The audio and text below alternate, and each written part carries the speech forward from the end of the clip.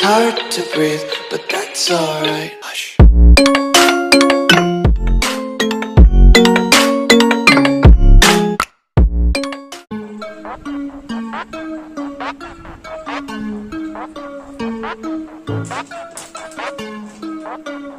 Thank